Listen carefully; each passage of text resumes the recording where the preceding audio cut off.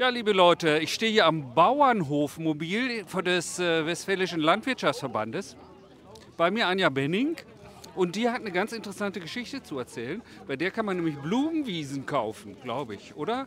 Ja, nicht direkt Blumenwiese kaufen, sondern für jeden gespendeten Euro, den wir sammeln für dieses Jahr, wird ein Quadratmeter Ackerland in Blumenwiese umgewandelt. Haben wir im letzten Jahr bereits erfolgreich gemacht mit der Osterhasenaktion. Und da haben wir schon 6000 Quadratmeter angepflanzt.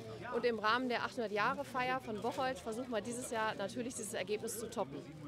Und die Bauern haben eine ganz besondere Aktion, die läuft demnächst mal wieder an. Die war ja im vergangenen Jahr ein sensationeller Erfolg. Da können Sie auch vielleicht noch was zu sagen. Genau, und zwar haben die verschiedenen Betriebe äh, letztes Jahr 55 an der Anzahl Osterhasen aufgebaut und man konnte im kompletten Stadtgebiet diese Route abfahren. In diesem Jahr ähm, ist es noch spektakulärer geworden, weil sich über 120 Betriebe bereit erklärt haben und Familien. Und ähm, die Vereine werden zusätzlich nochmal am Aktionswochenende, am ersten Wochenende, was nächste Woche ist, ähm, eine Beleuchtungsfahrt anbieten und gleichzeitig auch Verpflegung und Getränke.